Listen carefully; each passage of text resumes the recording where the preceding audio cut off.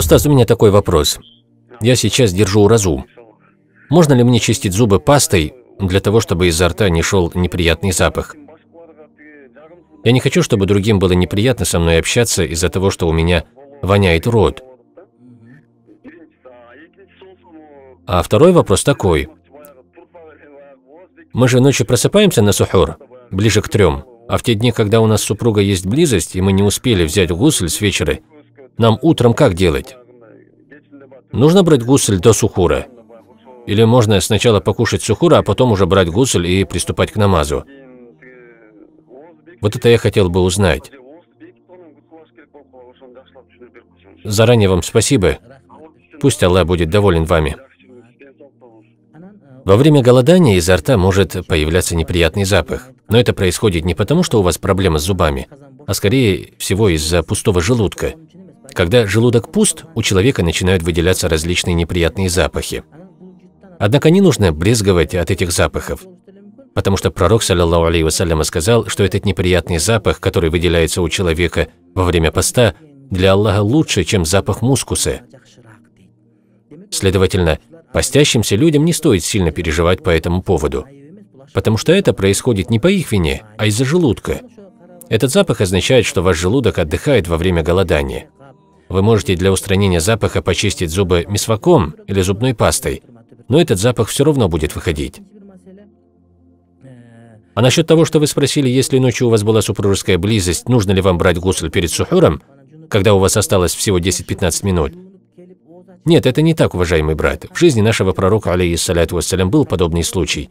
Однажды во время Рамадана он имел близость с супругой, а когда настало время сухура, он просто встал, помыл лицо и руки, потом покушал сухур, и уже после того, как наелся, он не спеша взял гусль и отправился на намаз.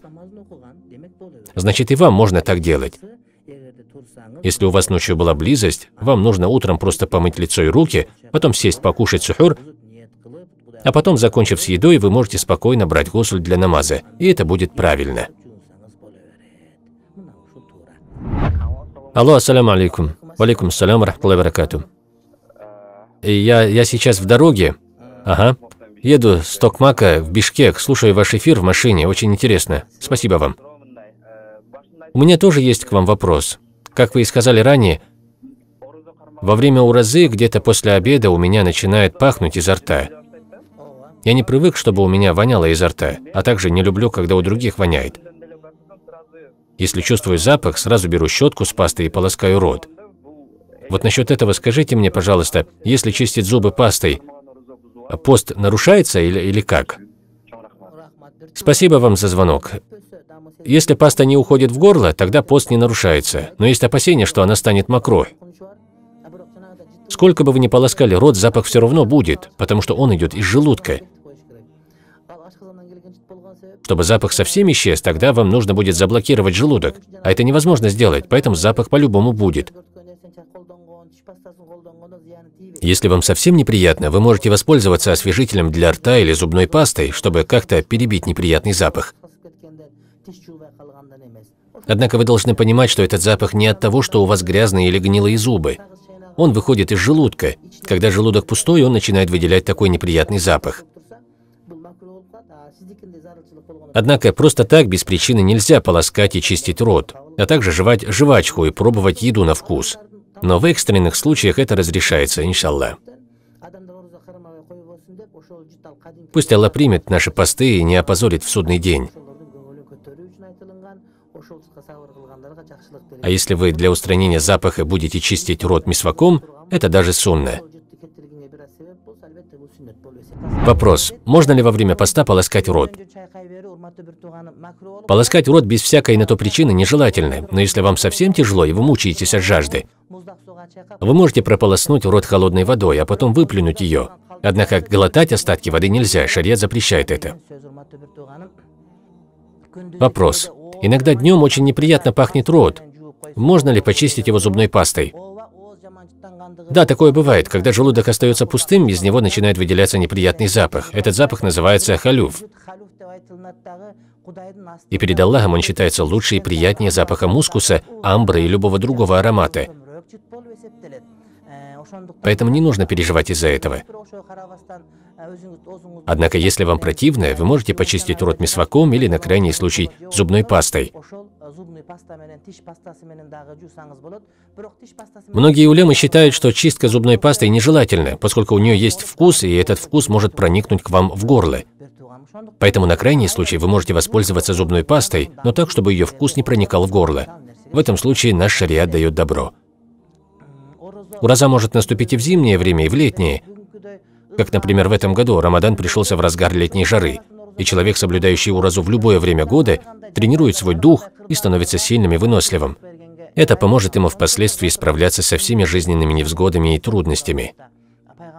Наш пророк, алейхиссаляту вассалям, передает священные слова Аллаха. «Все мои рабы знают, какую награду они получают за свои поклонения, но награду за пост никто не знает, кроме меня». Бывает такое, что человек во время уразы прикидывается постящимся, хотя на самом деле он не постится. Люди не могут знать, постится человек или нет. Все другие поклонения, такие как намаз, закят и хадж, очевидны. Люди видят вас. А пост – это такое поклонение, которое не видно для других.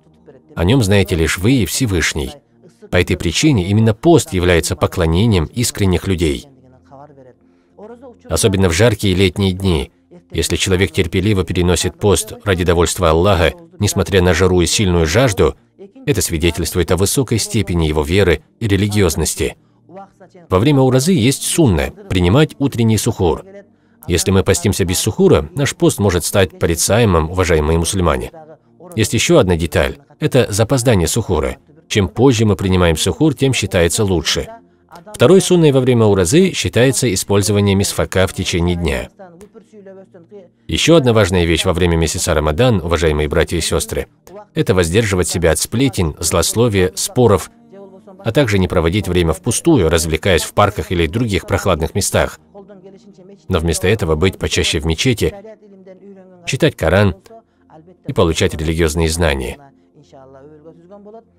Кроме этого, ифтар, разговение тоже является сунной в шариате.